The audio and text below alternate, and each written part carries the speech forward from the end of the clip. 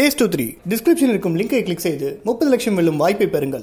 நாச்சியாஸ். சுப நிகழ்வுகள் அனைத்திலும் குடும்பங்கள் கொண்டாடுவது நாச்சியாஸ். விளக்குத்தூண் மதுரை. அட் சேம் டைம் இந்த டைட்டில் வைக்கிறப்போ ஒரு சின்ன ஒரு பயமும் இருந்தது. டைரக்டர் கெட்ட வார்த்தை பேசுனார் நான் பேசிட்டேன்.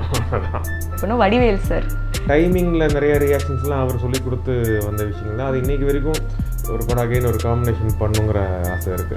Listen to my kutti story Thalapathy. தளபதியோட ஒரு ஃபர்ஸ்ட் சாங் வருது அப்படின்னா ஒரு ஃபர்ஸ்ட் சிங்கிள் ரிலீஸ் பண்ணுறாங்கன்னா ஒரு மாஸ் நம்பர் எதிர்பார்க்கலாம்.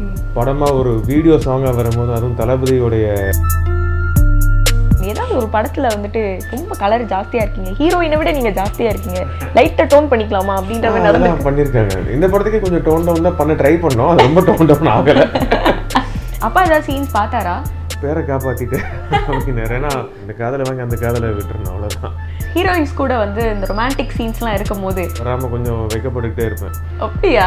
It's not easy to be an actor's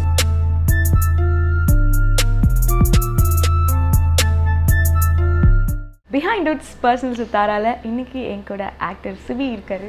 Hi so first of all Walter அப்படின்ற டைட்டில் சொன்னோடனே அப்பாவோட ரியாக்ஷன் என்னவா இருந்தது? ரொம்ப ஹாப்பியாக ஃபீல் பண்ணார்.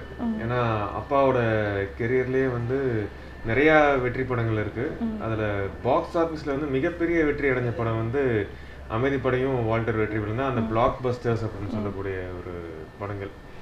ஸோ அந்த டைட்டில் நான் நடிக்கிறது வந்து ரொம்ப பெருமையாக இருக்குது அப்பாவும் ரொம்ப ஹாப்பியாக ஃபீல் பண்ணார்.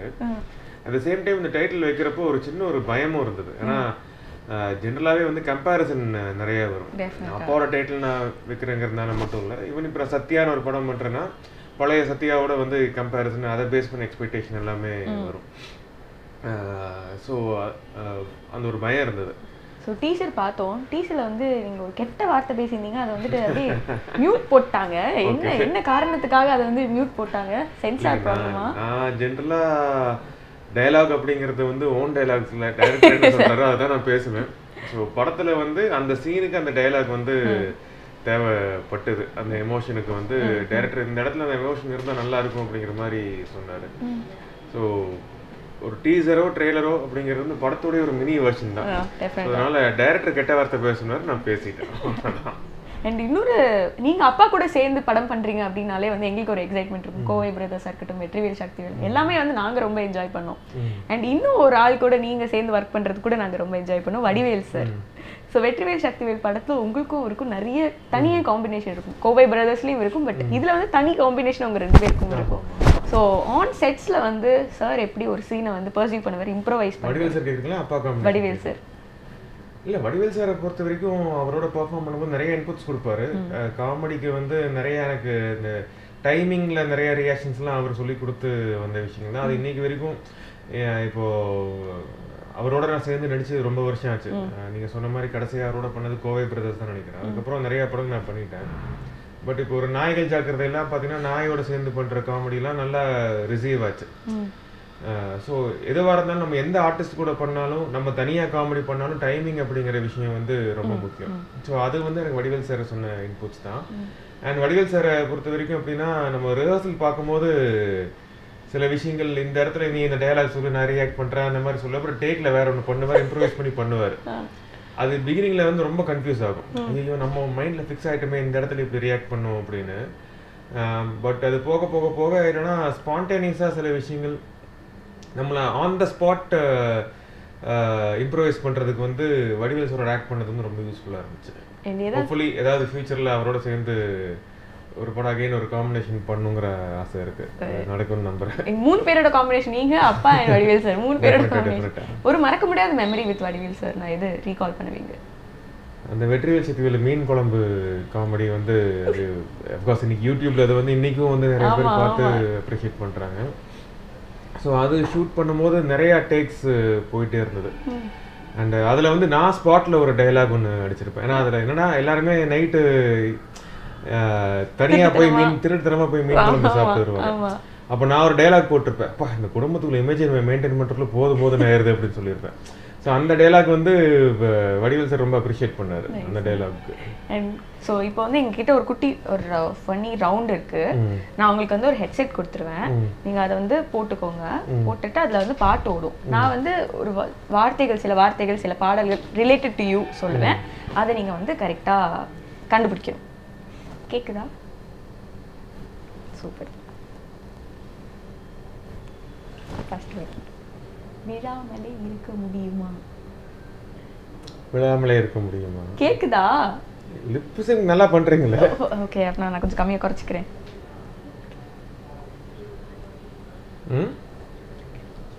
என் கையை கோரியவனா தானே? Okay okay hmm? Listen to my kutti story listen to my kutti story புரியல. Listen to my kutti story listen to my kutti story ஆமா. Thalapathy. Done okay super song கேட்டிங்களா? குட்டி குட்டி ஸ்டோரி கேட்காம இருப்பேனா? எப்படி இருந்தது? உங்களோட இமீடியட் ஃபீல் என்னதா இருந்தது? சூப்பராக இருந்தது. யூஸ்வலாக வந்து நம்ம தளபதியோட ஒரு ஃபர்ஸ்ட் சாங் வருது அப்படின்னா ஒரு ஃபர்ஸ்ட் சிங்கிள் ரிலீஸ் பண்ணுறாங்கன்னா ஒரு மாஸ் நம்பர் எதிர்பார்க்கலாம்.